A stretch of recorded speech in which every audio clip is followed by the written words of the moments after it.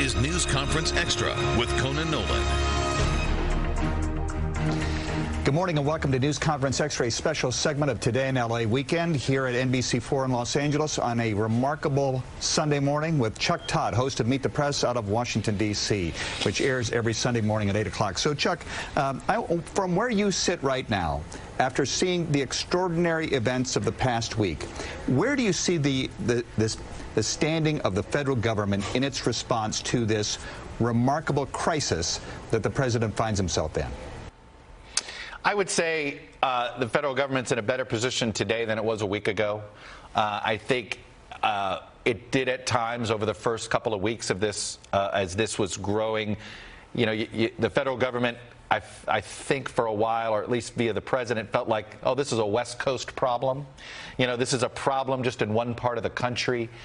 Uh, I think that now that has changed, and in that sense, I think you see particularly the, the task force as it's led by the vice president, uh, a little more in sync, a little more facts first. I do think the president's involvement at times causes confusion.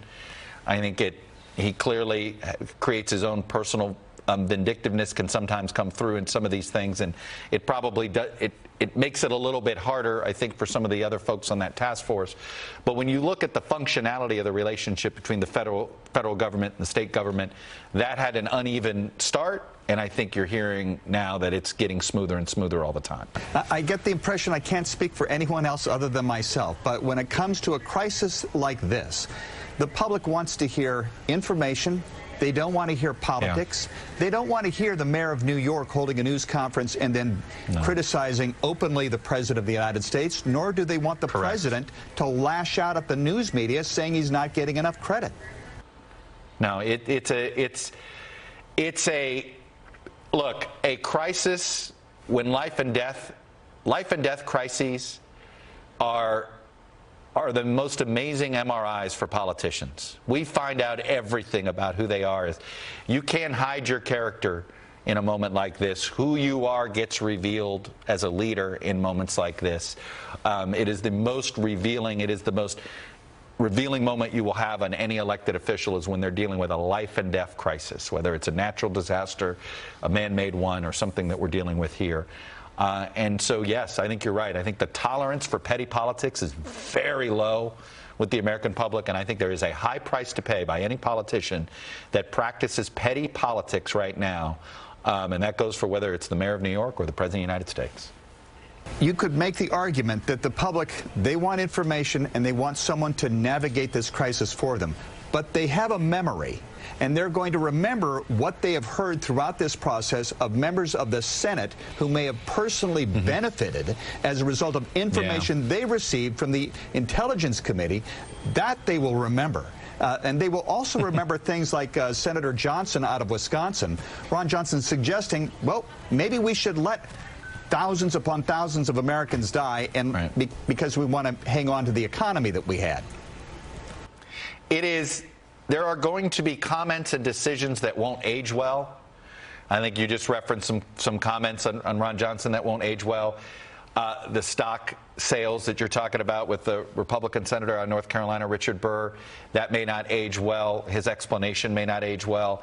And I think that is, these are the, look, we are, I have put a lot of politics in the back burner myself but I'm not losing track of these stories. And, and, and, you know, these are all things that are happening now that I won't be surprised if they show back up in paid television advertising in the fall, assuming we are having any form of a normalized campaign season.